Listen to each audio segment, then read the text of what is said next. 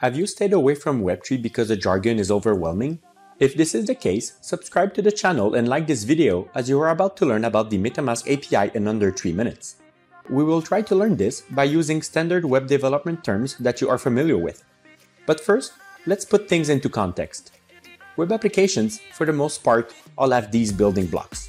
A way to sign in users and identify them, a place to store data, and lastly, a place to store files.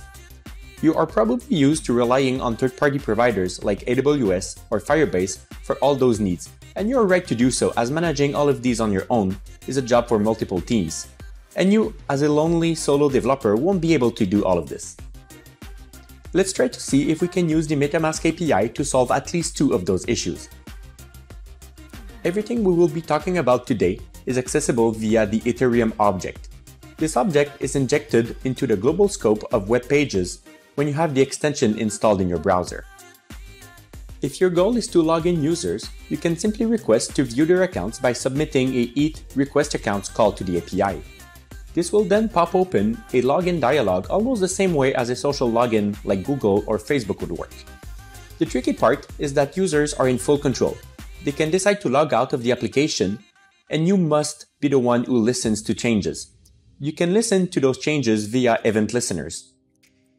To make sure that your application state doesn't fall out of sync, you might want to store the user's information into local storage and to update it when users change their wallet or disconnect. This should provide for a pretty nice login solutions to the 30 million MetaMask users.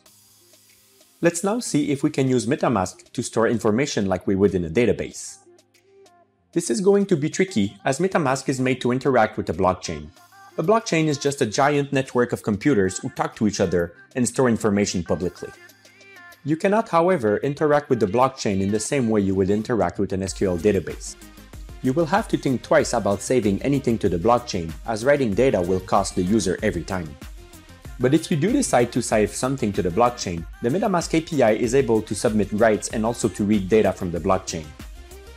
But instead of using directly the API, you will be relying on libraries like Web3.js or Ethers.js, as they provide helper functions to simplify your life and will avoid you learning all of these complicated API methods.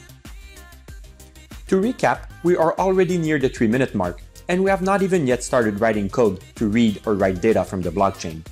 The MetaMask API is the tip of the iceberg of Web3 development, so if you want to learn more, please like and comment on this video to indicate that you would like more Web3 content.